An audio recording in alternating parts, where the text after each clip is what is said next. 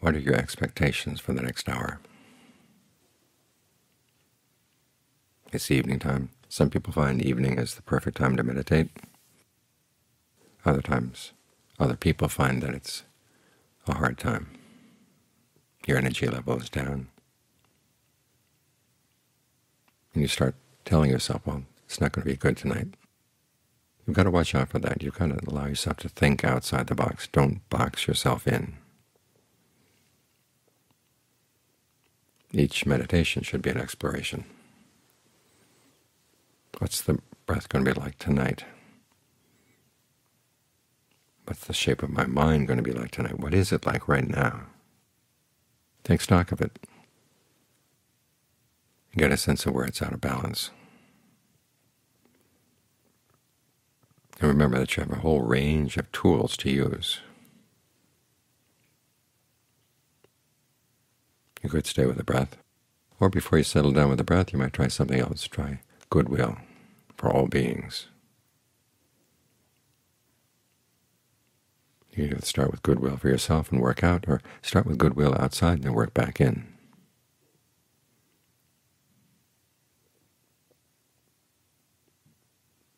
Contemplate the bones in the body. Start with the tips of the fingers, the bones in the first joints. Where are they right now, all ten of them?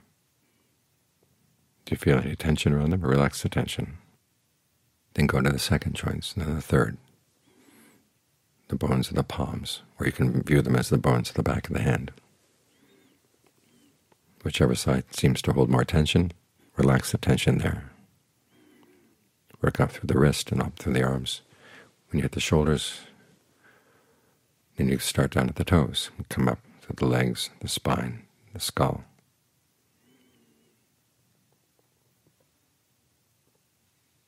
There are lots of different topics you could focus on right now. As the Buddha said, there are times when you try to settle down with the body sitting right here, and there's a fever. It could be a fever in the mind, a fever in the body. Not so much a physical fever, just an antsiness. Okay, what's the problem? What can you do to soothe the fever? He says, find a topic that you find inspiring. Think about that.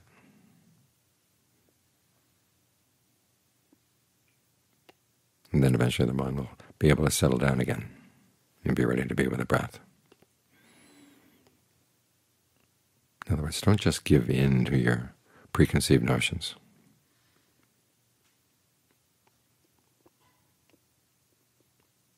We live our lives so hemmed in. It's good to think about the Buddha having broken out. He had lots of expectations placed on him. He didn't meet his family's expectations at all.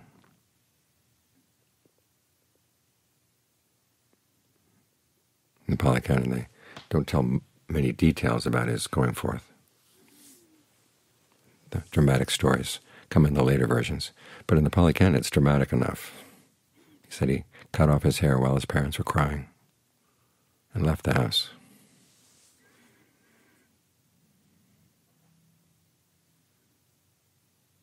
He made a clean break. And throughout the history of Buddhism, the people who really go for the Dharma make a clean break. There's that story of Ajaan Singh, who was one of Ajaan Mun's first students. He'd been a Pali student. And so after he studied with Ajaan Mun for went back to see his teacher. Tried to get the teacher to go see Ajaan Mun as well. The teacher ended up throwing his spittoon at him. Ajaan Singh was pretty plain-spoken. But he didn't let that deter him. Well, if I can't get anybody else who will practice with Ajaan Mun, I'll go back and practice some more myself.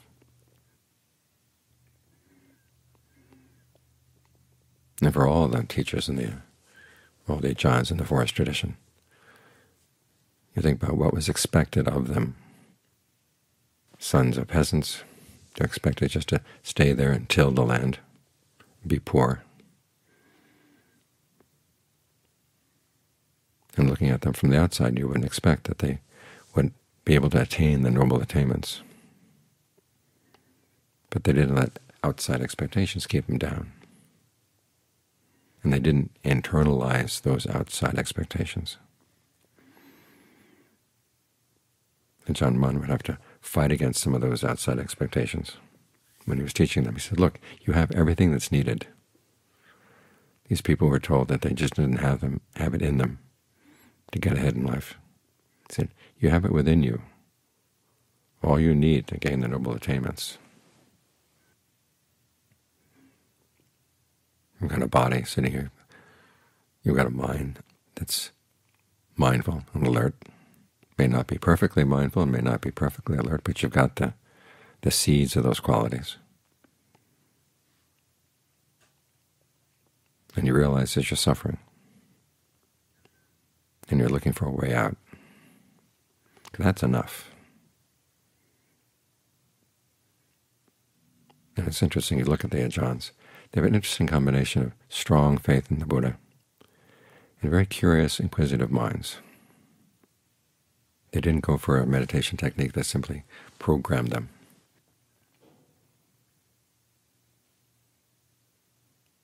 They question things, and Ajaan Mun encouraged them to question things. This, of course, is in line with the Buddhist teachings on questioning the text, questioning your teacher. Just because a teacher says something, it's not necessarily true. Just because the text says something, it's not necessarily true.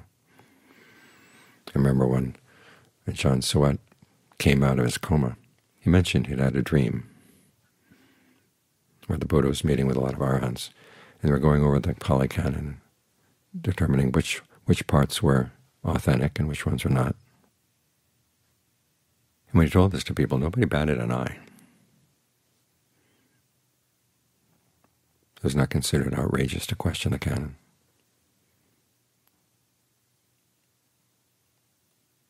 And you find the teachers coming with original teachings on, say, the three characteristics. Ajaan Chah would note that you know, inconstant things do have their constant side. They all fall constantly under the, the pattern of Tibetan core rising. They constantly fall into the truths of the Four Noble Truths. So that side is constant to them. Ajaan Lee had his own way, in fact, two different ways of dealing with the three characteristics. One is he notices certain aspects of your body stay the same. Your mouth has never turned into your eye. Your hands have never turned into your feet. There are certain things that are constant,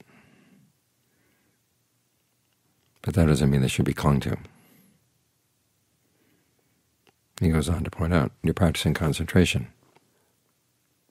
You're taking these inconstant aggregates,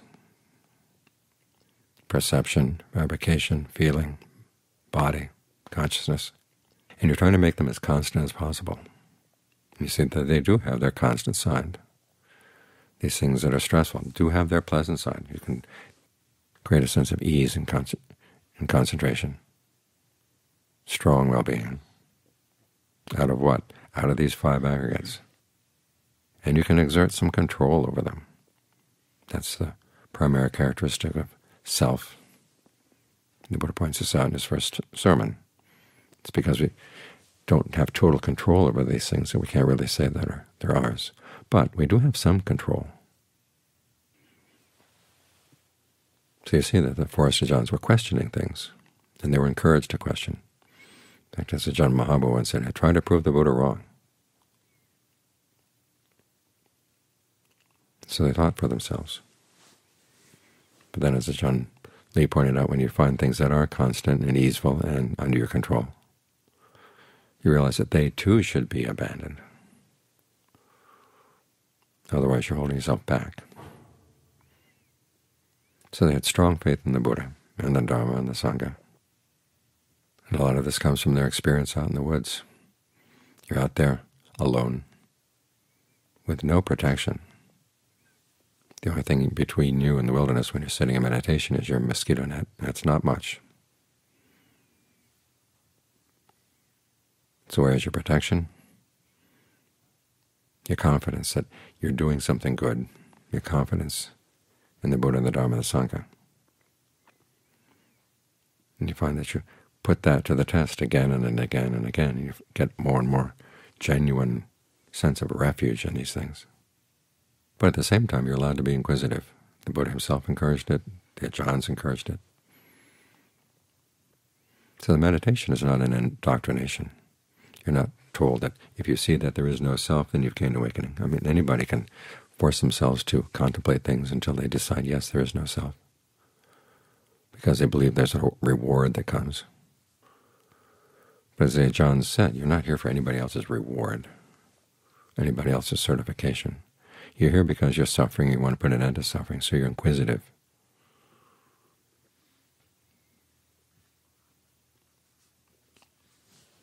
If you're not inquisitive, you simply say, okay, I'll apply these perceptions to whatever comes up. and constantly stress, not self.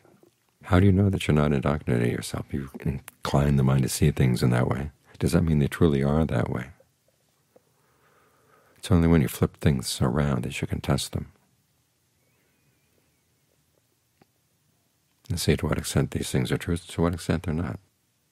The Buddha himself treated the three perceptions as teachings that are true but not always beneficial. There's that story about the monk who, hearing the Buddha say that all the aggregates are not self, and he asks, well, if the aggregates are not self, then what self is going to be affected by things that are done by not self? You can see where his thinking is leading.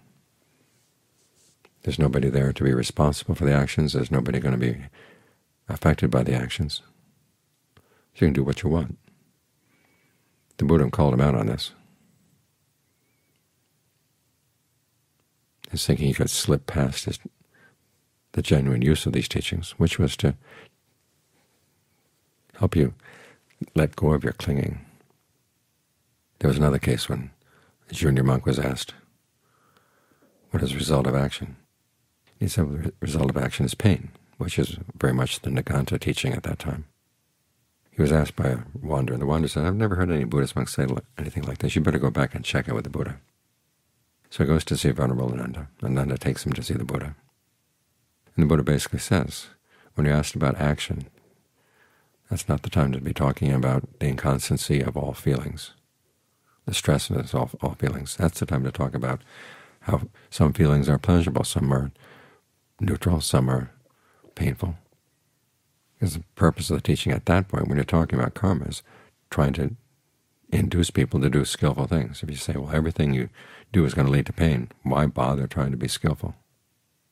So these perceptions are not always useful.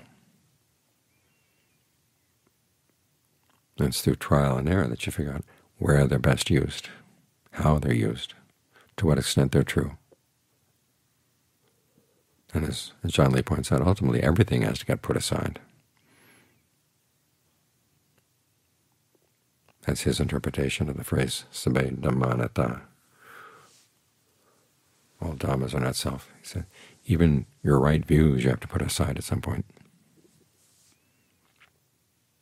So these are people who thought outside the box.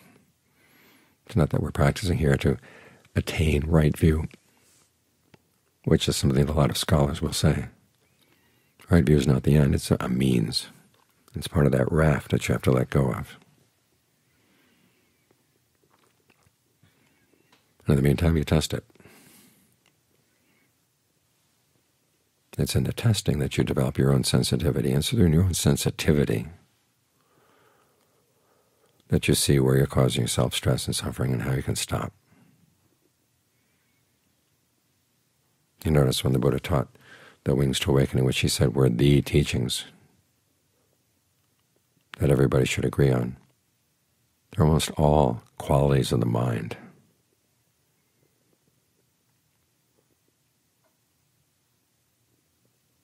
Otherwise, he didn't say you have to have this belief about this or this belief about that. The belief was about the Buddha's awakening, which comes down to belief in the power of your actions. Then everything else is qualities of mind that you need to bring to your actions. And includes having an inquisitive mind.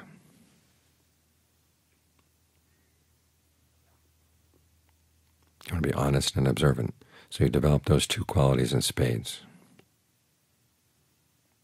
And to do that, you can't allow yourself to be hemmed in by your preconceived notions. You have to be willing to question things. So whatever limitations there are on your practice tonight, make sure you're not the one putting them there.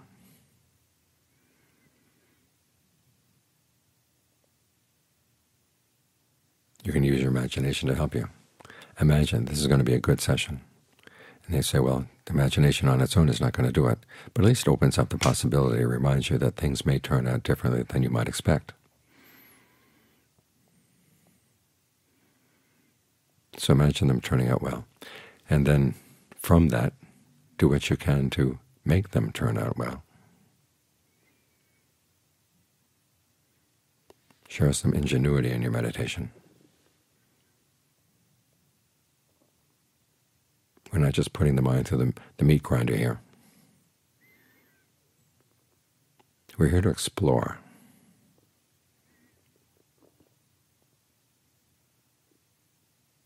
See what you can find.